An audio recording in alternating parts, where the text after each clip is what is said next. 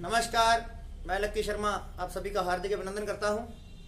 तो जैसा कि आज का शीर्षक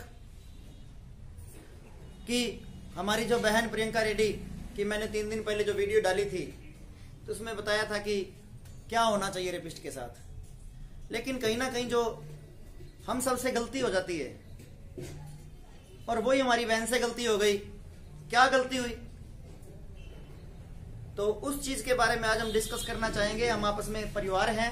अगर आपको मेरी बात थोड़ी सी भी अच्छी लगे तो प्लीज़ उसको शेयर भी करना है और उसको लाइक भी करना है।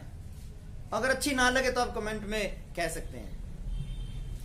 कहीं ना कहीं हमारे से गलती हो जाती है कि कोई भी छोटी सी बात ऐसी हो जाती है स्कूटी पंचर हो गई, या कहीं भी हम अकेले रह जाते हैं तो हम डर जाते हैं, हम सहम जाते हैं बहुत ज़्यादा सहम जाते हैं।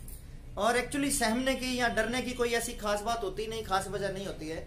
हाँ बहुत सुनसान इलाका है, या अंधेरा है, या कुछ ऐसा है तो हम मानते हैं कि हम डर जाते हैं। लेकिन टोल टैक्स पे डरना, सहमना और किसी अनजान व्यक्ति से, किसी ने हेल्प का कहा और हमने उस पर विश्वास कर लिया तो सबसे पहली गलती, अनजान व्यक्ति पे विश्वास कर लिया।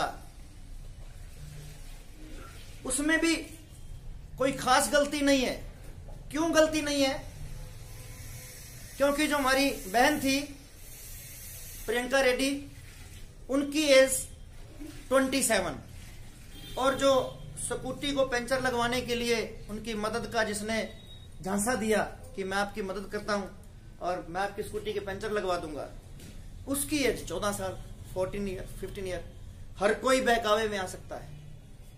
हर कोई बहकावे में आ सकता है, मैं भी आ सकता हूँ, आप भी आ सकते हैं कि यार ये एज डिफरेंस ही बहुत है, बच्चों के बराबर है उसके। लेकिन शैतान और बुराई, उनकी कोई उम्र नहीं होती, कोई सीमा नहीं होती। ना शैतानी की कोई सीमा, ना बुराई की कोई सीमा। वो पहले ही घात लगाए बैठे थे। तो सबसे बड़ी एक गलती हुई कि अनजान व्यक्ति पे विश्वास हो गया। और विश्वास किया तो हम सभी, हमारे पूरे देश को उस पर बड़ा दुख है कि जो हुआ।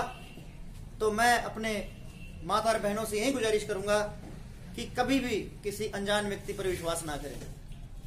चाहे कितनी भी कोई समस्या है, उसको अपने तरीके से, अपने सगे संबंधियों से अपने रिश्तेदारों से हल करने का प्रयास करें। अनजान व्यक्ति आज के इस कलयुग में अनजान पे विश्वास करना सबसे बड़ी मूर्खता है। तो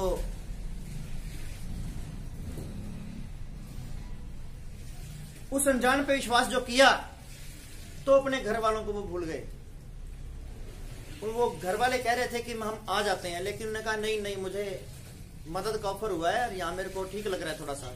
और बाद में उसका जब फ़ोन बंद हुआ तो आगे शब्द नहीं है कहने के लिए तो मैं यही कहना चाहूँगा कि अनजान पर विश्वास मत करें। ये सबसे बड़ी जो गलती थी, और वो हमारी कोई भी माता या कोई भी भाई, कोई भी बहन ना करे, क्योंकि ऐसा दर्दनाक दृश्य सहने की जो ताकत है, वो किसी भाई में नहीं है, किसी माँ माँ में नहीं है, और परिवार के किसी सदस्य में नहीं है, और पूरे देश के किसी नागरिक में नहीं है तो मैं आप सभी से विदा लेना चाहूँगा इसी के साथ ही। और अगर आपको मेरी ये थोड़ा सा व्यूज़ अच्छा लगे तो इस चैनल को और आगे भेजें सब्सक्राइब को करें और शेयर भी करें। धन्यवाद।